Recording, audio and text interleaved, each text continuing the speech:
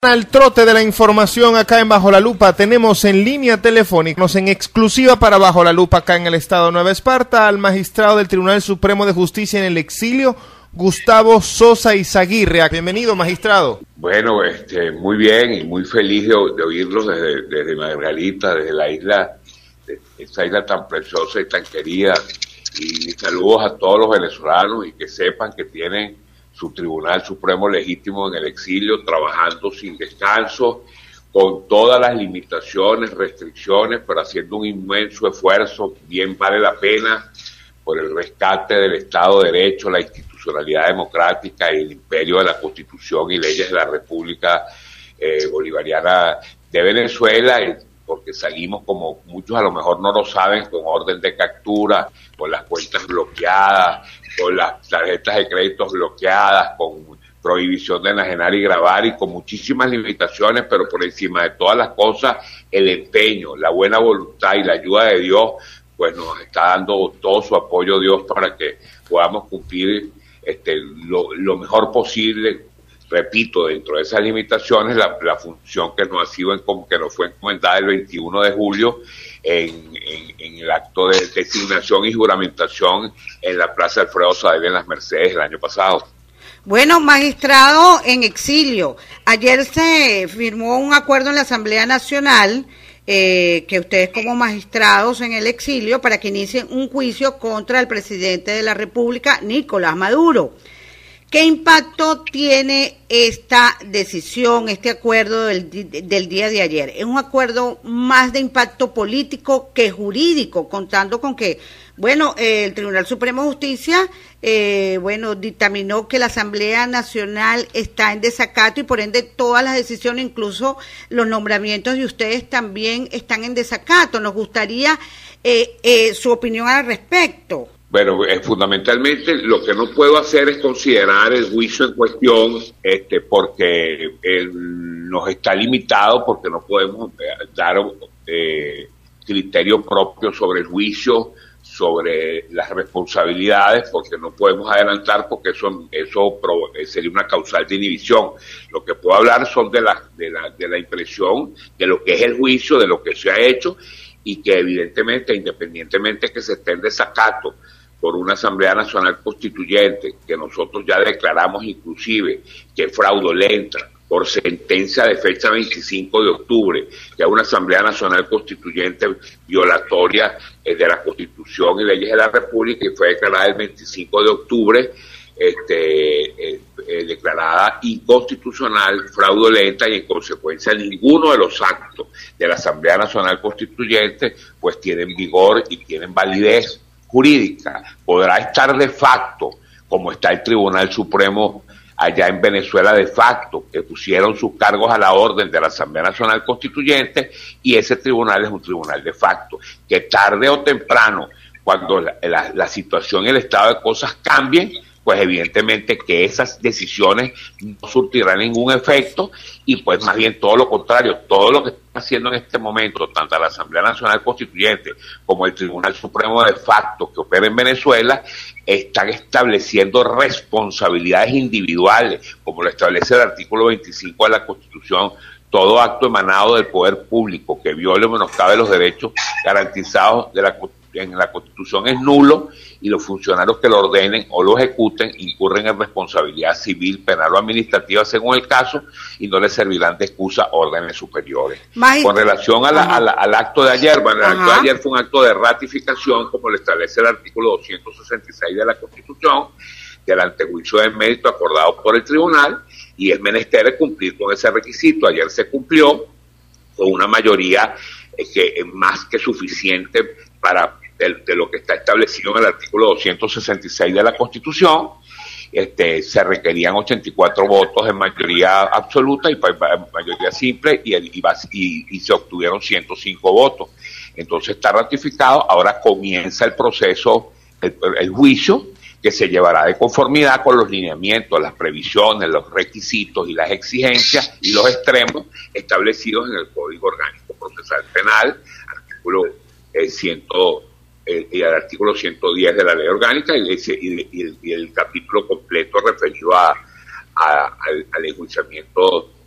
de los funcionarios que está establecido en el Código Procesal Penal, que es un juicio ordinario penal este, normal, como se le aplica a cualquier ciudadano, tomando en consideración y garantizándole a, a, quien hace las veces de presidente de Venezuela todos sus derechos de acuerdo a la Constitución, su derecho a la defensa, su, todos, todos, absolutamente todos y cada uno de, los, de los de los derechos pues que, que la, la, Constitución le consagra a cualquier este, persona que, va a ser enjuiciada. Eso pues es lo, es, lo, es lo que se les puede garantizar y que hay la disposición, por supuesto, del, del, tribunal, de, así como lo ha hecho hasta el momento, pues de, de cumplir con la Administración de Justicia en nombre de la República por autoridad de la ley. Magistrado en el exilio. Gustavo Sosa Izaguirre en exclusiva para el programa Bajo la Lupa, Encuentro 88.7, Isla de Margarita, Venezuela, su país. Ahora, ¿quién, eh, eh, ¿quién ejecuta estas decisiones que ustedes van a tomar? Usted habla de un juicio penal. ¿Cómo es eso? O sea, eh, ¿qué es lo que viene? ¿Viene una, sesión nueva? Hay una orden, hay una orden, eh, hay una orden directa cuando se, cuando se, cuando se dictó cuando se dictó la decisión donde se admitió el antejuicio de mérito por solicitud de la fiscal general, también en el exilio se acordó unas medidas preventivas cautelares de captura, de alerta roja y por supuesto, y se le exhortó, se le ordenó tanto a las autoridades militares como a las autoridades civiles a hacer efectivas esos mecanismos. Ahora, si ellos desconocen y desobedecen la orden del tribunal, estarán todas esas altas autoridades al servicio de un régimen de facto y en consecuencia también en su momento, en algún momento se producirán las, las, las, acciones que permitan que las leyes se cumplan dentro del territorio nacional y serán responsables quienes no acaten la orden de aprehensión, quienes no, no ejecuten las órdenes del tribunal, serán responsables como la Constitución lo establece y como lo acabo de indicar. Ahora bien, lo importante sería,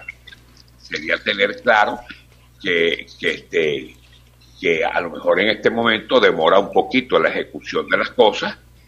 pero que en definitiva, de no cumplirse dentro del territorio venezolano, para eso están los organismos internacionales que terminarán de ejecutar la, la decisión del tribunal si en consecuencia no se, no, no se hace internamente y no se acata la decisión internamente. Para eso actualmente están los organismos internacionales y para eso la última medida cautelar acordada, que fue la apertura, la activación de la Convención de Palermo, que es la del crimen organizado, y precisamente para contar con todas las herramientas de ejecución a través de los organismos internacionales y a través de la Convención de Palermo. ¿Puede el presidente de la República, Nicolás Maduro, salir en este momento del país eh, sin que la Interpol, Interpol lo detenga? No, no, estamos en conocimiento en este momento por lo reciente de la medida, si la Interpol ha tenido tiempo de instrumentar la medida. Pero si la tuvo tiempo de instrumentarla, evidentemente que, va a correr un riesgo porque en cualquier momento podría ser detenido pero, este, repito, no estamos en conocimiento si ha dado tiempo al Interpol poder hacer las instrumentaciones correspondientes en cumplimiento de, la alerta, de la alerta roja Interpol. Si la Fuerza Armada Nacional eh, Bolivariana no apoya y respalda esta decisión, tanto de la Asamblea Nacional como de ustedes como magistrados en el exilio. mire, repito, Repito, repito, y, con esto, y con esto eh, dejo concluida la, pregunta. Repito, nosotros somos un tribunal excepcional en el exilio porque simplemente no nos entregaron el tribunal y no nos permitieron ejercer nuestra función de magistrados dentro de Venezuela. En consecuencia, nos vimos en la imperiosa necesidad para poder ejercer ese mandato de la Asamblea Nacional y el pueblo soberano de salir fuera del territorio nacional. Evidentemente que eso produce una limitación y restricción para, para la garantía de, la ejecutoriedad de las sentencias. Pero la ejecutoriedad de las sentencias está en manos eh, no solo de las Fuerzas Armadas, este, eh, si ella no cumple, también está en manos del pueblo venezolano. Todas las sentencias de nosotros, sobre todo las que declara la inconstitucionalidad de la Asamblea Nacional Constituyente establece que el pueblo venezolano de conformidad con el artículo 333 de la Constitución, tiene el deber y la obligación de colaborar con la efectiva restitución de la Constitución Nacional. Eso es el derecho de cómo, como lo establece el artículo 350, que está citado en nuestra sentencia. El 350 establece la, la, así como el 333 establece la obligación de todo ciudadano investido o no de autoridad de colaborar con la efectiva restitución de la vigencia de la Constitución, el 350 establece el cómo, es desobedeciendo, desconociendo y con la resistencia permanente del pueblo, utilizando los mecanismos de protesta, de desobediencia establecidos en la Constitución. Ese es un brazo, el pueblo venezolano es el brazo que eligió a esa Asamblea Nacional Legítima, que hoy por hoy representa el 80% del sentir del país, como fue así electa por, por mayoría calificada. Entonces, fundamentalmente, pues en manos del pueblo de esa asamblea este, está la ejecución directa. Pero de no ser posible, porque sabemos las características del régimen imperante en Venezuela, de no ser posible internamente, repito, los organismos internacionales tienen la competencia para ejecutar las sentencias y las decisiones y en su oportunidad y de conformidad con los procedimientos y normas internacionales aplicables al efecto, pues se producirá la ejecución de la sentencia a través de los organismos internacionales. Para que las personas que están en sintonía en este momento a través de, bueno, no solamente la señal del Estado, Nueva Esparta, sino a nivel prácticamente de otros países y nacional porque sale por internet eh, la señal de encuentro, eh, si la fiscal Luis Ortega Díaz hubiese hablado en el año 2013, porque por eso refresquele a las personas eh, que están escuchando, ¿por qué están enjuiciando al presidente? A solicitud de ella por unos, una cantidad de billones, no sé cuántos de dólares, eh, que eh, con lo cual esta empresa Odebrecht financió parte de la campaña presidencial. ¿Qué hubiese pasado si en ese momento ella hubiese hablado? Porque cuando no le entra cantidad de dinero, eso se nota. o sea, y sobre todo un anillo tan cercano al presidente a Maduro. Oígame un momento, el tribunal está sujeto que se interpongan los recursos. El tribunal no puede orar por lo que ella hizo o dejó de hacer. Esa sería una pregunta que sería muy interesante formulársela a ella, porque ella no lo hizo antes. Pero el tribunal tiene que sujetarse exclusivamente a lo actuado, a la querella interpuesta y al momento en que se interpuso. Nosotros no podemos este, eh, eh, eh, obrar si no, si no hay una acción determinada, en algunos casos como este, como este específicamente. Si ella no acusa, que es la persona que representa la vindicta pública y ejerce la representación del Ministerio Público y es ese requisito constitucional que ella acuse, entonces nosotros no podíamos actuar y en consecuencia ya lo hizo, ya actuamos y está en procedimiento. Lo, está actuando primeramente por el caso de Brecht. Habría que preguntarle a la fiscal si ella tiene otras, si está recabando información sobre otros casos y nos va a presentar también por otros casos una, una querella acusatoria. Entonces, pero eso, eso solo se lo puede contestar la fiscal, que es la, es la que puede saber qué está haciendo, por qué no lo hizo antes y por qué lo está haciendo en este momento y por qué a lo mejor otras cosas las hace después. Pero eso no se lo puedo contestar yo. ¿Cuándo, ¿Cuándo, se reúnen ustedes en plenaria si lo van a hacer de nuevo allá en el Senado de Colombia? Eso, eso forma parte, todo eso forma parte del, proceso que está reservado a los magistrados y que eso, es, nada de eso podemos estarlo revelando. Nosotros lo que sí podemos adelantar es que nosotros estamos en, varios países, este, seis están en, en Chile, seis magistrados están en Chile, siete están en Colombia, cuatro estamos en Panamá, 13 eh, están entre Florida y Washington. Nosotros tenemos semanalmente plenarias por Skype y videoconferencia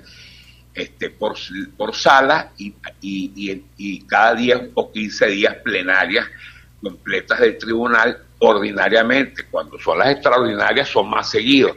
Y entonces, y así estamos trabajando independientemente de la movilización que hacemos periódicamente a distintos países para reunirnos todos, como fue el caso reciente de la semana pasada que nos reunimos en Bogotá, la gran mayoría, y este y los demás pues estuvieron permanentemente este, en las pantallas por videoconferencia, aprobando las deliberaciones y participando de las sesiones. Así es como trabajamos y eso forma parte del procedimiento. El procedimiento está establecido en el Código Orgánico Procesal Penal, es un procedimiento ordinario común y corriente como el que se sigue, pero la diferencia es que, pues, es contra la persona de, quien, eh, quien hace las veces de presidente de, la República. Eso, eso es lo único que les puedo informar con relación al juicio en cuestión, porque nos está limitado, porque no podemos dar opinión de ninguna naturaleza ni información de esto, porque eso viciaría el proceso y no estoy en ninguna posibilidad ni ningún magistrado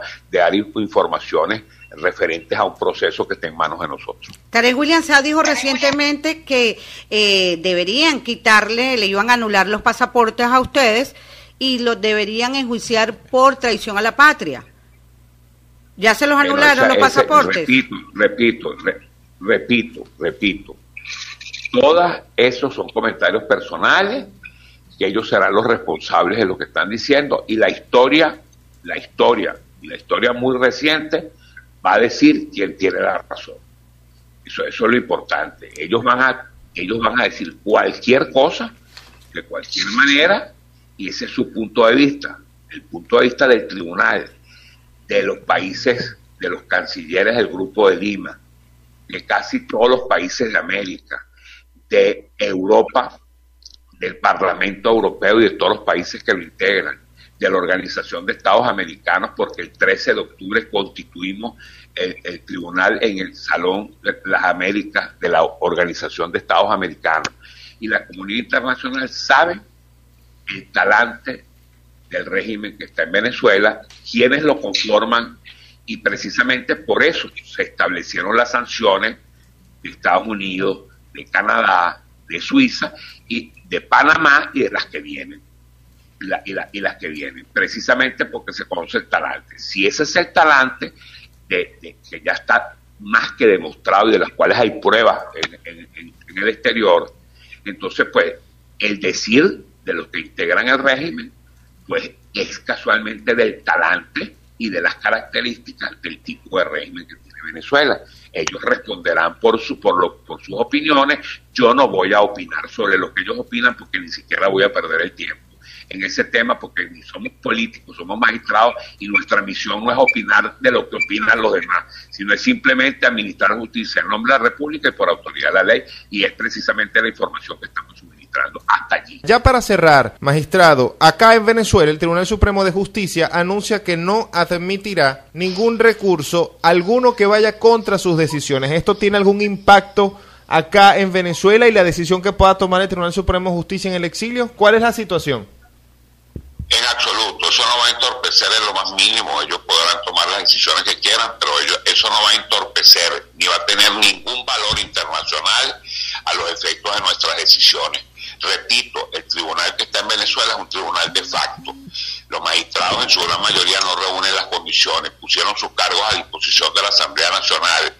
Son los magistrados que fueron sustituidos por nosotros y no entregaron el cargo. Entonces es un tribunal de facto como todo gobierno de facto, este es el gobierno del Poder Judicial, está en el poder mientras esté, pero todas esas decisiones se tienen como si nunca existieron en el momento en que se ha sustituido el gobierno judicial y se ha sustituido el Tribunal Supremo de Justicia. No tienen ningún tipo de valor, ni van a obstaculizar en lo más mínimo nuestras decisiones, porque repito, nuestras decisiones están avaladas y legitimadas por la comunidad internacional. Así que no, no, no, no es necesario pues, hacer más mención a, a este respecto, porque ellos van a, ellos pueden seguir decidiendo, pero eso no va a interferir lo que nosotros estamos haciendo ni le va a quitar valor en lo más mínimo a lo nuestro. Ante la comunidad internacional que en definitiva este, está actuando y terminará de actuar